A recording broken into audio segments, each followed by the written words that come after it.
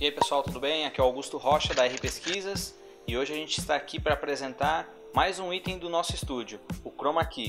Se você quer conhecer mais a respeito, confira nesse vídeo, se inscreva no canal e deixe seu joinha, beleza? Acompanhe!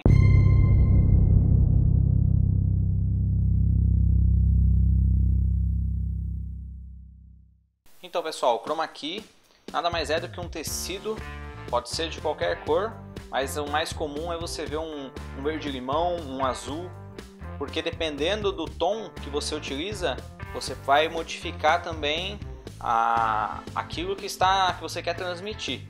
Então, se eu utilizasse um tom de vermelho, provavelmente a, a parte dos lábios ou a, alguma parte da, da, da vestimenta acabaria sendo retirada também. Se utilizasse também um pano azul, esse xadrez aqui da minha camisa provavelmente sumiria também. Então é muito importante você ter esse cuidado na hora de escolher a cor do seu tecido para depois você pensar também naquilo que você quer transmitir no vídeo. Tá? É, outro ponto é, importante é a questão da iluminação. No momento vocês podem notar que não tem sombra aqui atrás de mim, porque se eu me aproximar, aí sim, mas no momento eu tenho aqui a luz ambiente aqui em cima, mais uma luz de apoio aqui e um LED ring aqui. Então depois que você iluminou bem, já tem o seu chroma key instalado, já está bem posicionado, aí vai na imaginação de cada um. A gente pode alterar o plano de fundo para fazer nosso fundo de estúdio, assim como vocês estão vendo neste momento, ou a gente pode estar tá criando uma história, criando um ambiente, um acontecimento dentro deste fundo. Um dos filmes mais conhecidos que utilizam muito dessa técnica é o filme dos Vingadores Ultimato, enfim, toda a franquia da Marvel, que utiliza muito do CGI, né, que é a filmagem, e depois a edição ali sendo aprimorada através da, da computação.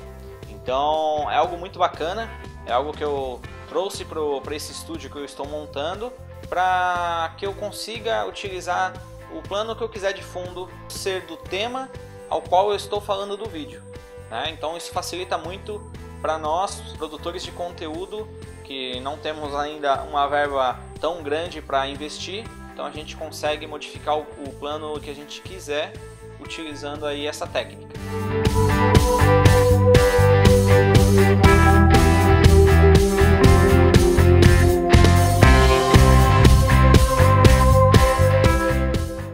Isso aí pessoal, a gente finaliza então esse vídeo a respeito do Chroma Key. Espero que vocês tenham gostado. Se ficou alguma dúvida, deixa nos comentários. Aproveita esse momento e peço para que você se inscreva em nosso canal, deixe seu joinha e acompanhe aí, compartilhe com seus amigos. Logo mais terá novos vídeos a respeito de produtos relacionados à montagem de um estúdio e também em breve relacionados à tecnologia, à gastronomia e muito mais. Muito obrigado e que Deus abençoe.